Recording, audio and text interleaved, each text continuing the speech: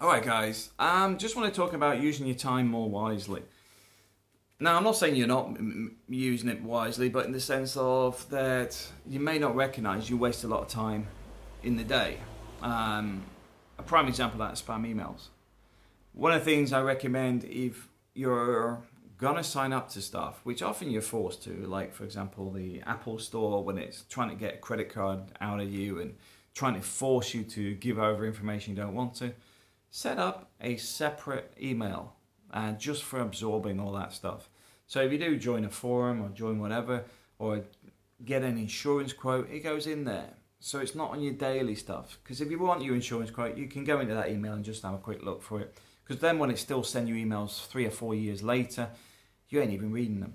Um, that's one example of where we lose time every day is with the junk that we're often being sent and we're over bombarded with it. Um, the other thing is false information. I was looking at something today because I was doing something with photos and something came up on my Facebook feed relating to uh, UK pensions and somebody was on about, oh, Germany Germans get this amount, French get this, UK only gets this amount, pension wise. Uh, it's the EU's fault. It's got nothing to do with the EU. But you've got to understand that is not there to give you a statement, it's there to incite the argument. Because what you're looking at is the pro and anti, and they're getting them to fight. We've already seen this with the whole stuff coming out about the uh, Facebook and the, the Boris bus and the US elections with Trump we're already seeing how things were orchestrated. They were manipulated. They're using our information against us. But at the same time, doesn't mean you have to buy into it. When you see this stuff, recognize what it is. It is simply to incite hate. It's inciting arguments. It's to start a argument with you. I mean, it doesn't automatically end up in Facebook. It's put there. And it's put there by people wanting to create these disputes.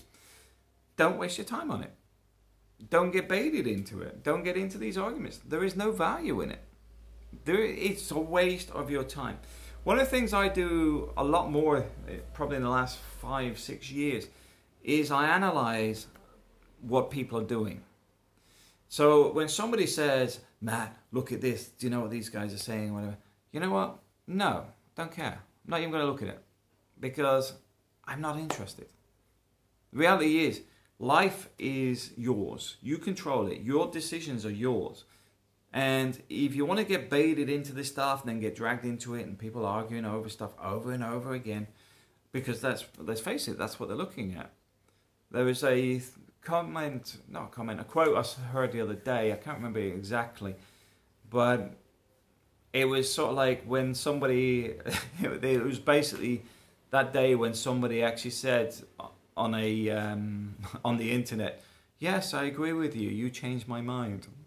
Um, never said, you know, because the point is, a lot of this is to incite these arguments because it creates um, conflict, creates content, um, but it misuses your time. Your time's important to you. Um, so one of the things I do recommend is utilizing it in better ways when you can there's stuff put in our way on a regular basis, and there's stuff that's designed to waste our time.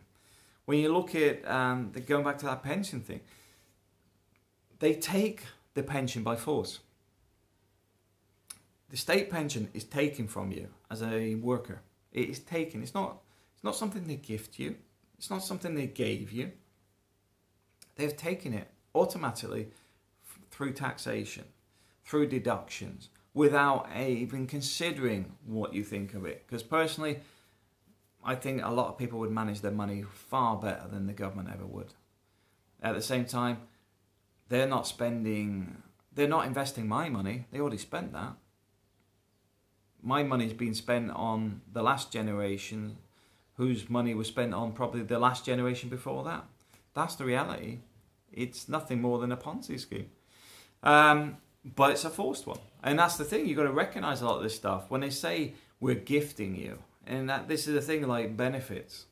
Now, I don't have any benefits, but I it was no benefit for me in the first place. I paid for it by force. It was taken from me. Um, but at the same time, this is how things get defined as if they're helping you, they're giving you something for free.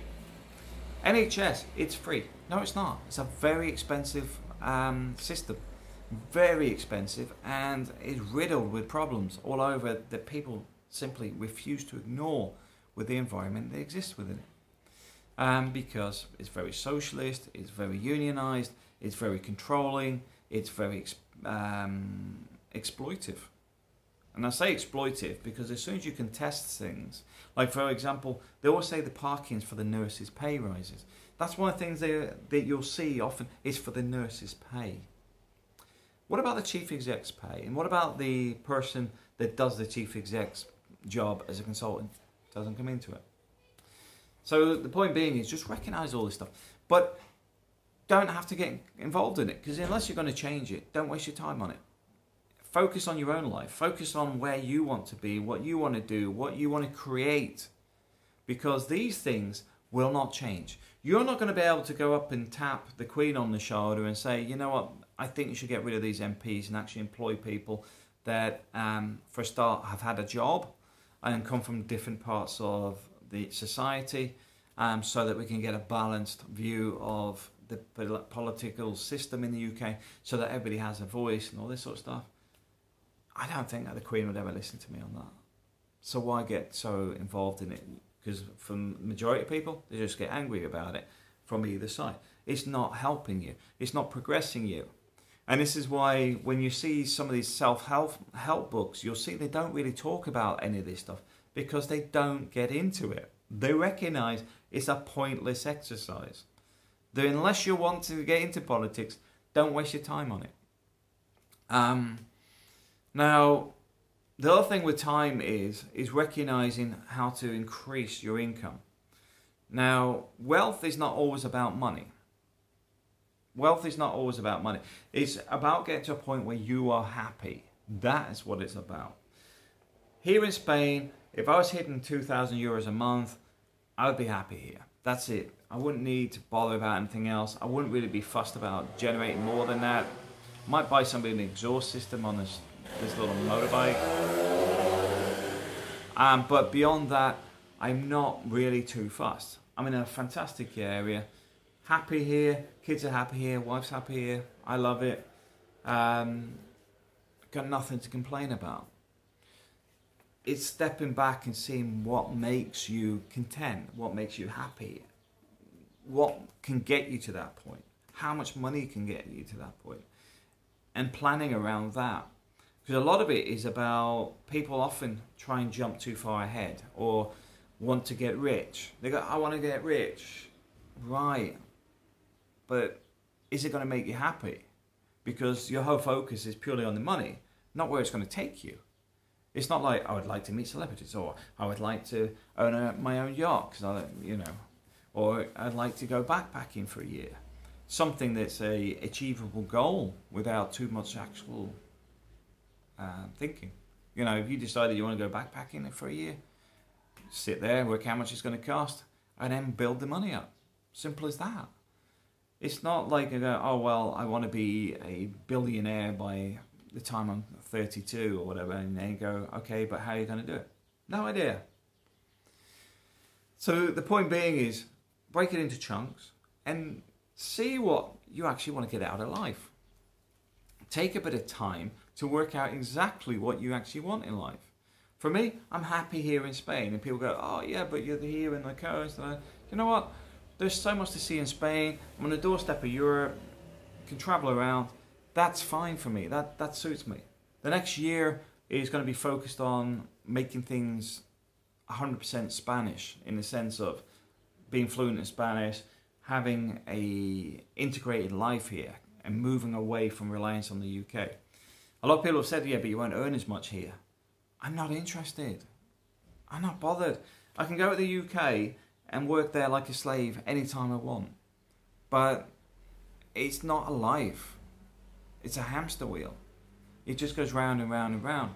It doesn't move life forward. And that's the way I see it. And what makes me content? Well, sitting doing these videos on a Saturday afternoon, talking to the owner of the cafe down, well, it's literally a new street. Um, that's new, next street. Um, and I'll be popping down there to see him and have a cup of tea in a minute. That's what makes me happy. My kids are busy playing. My mother-in-law's here, relaxing. She's in, enjoying being here in Spain and experiencing stuff. That's what makes me happy. You probably notice I get a lot of enjoyment out of other people being happy. Well, that, that's just me. you know, um, the priority for me is people being content and I'm content. Um, I don't really see too much suffering and stuff in this area. That's that's I'm happy with that. I'm happy that my biggest pain in the backside is that little motorbike that goes straight past my window. But you know what? I'm not going to go down there and shout at him or whatever because we're all young at some point and he obviously got the money for the exhaust, or he thinks it goes an extra two kilometers an hour by taking the um, the regulator out. But either way, don't let other people waste your time. Nearly on cue. Um, enjoy life. Thanks for watching.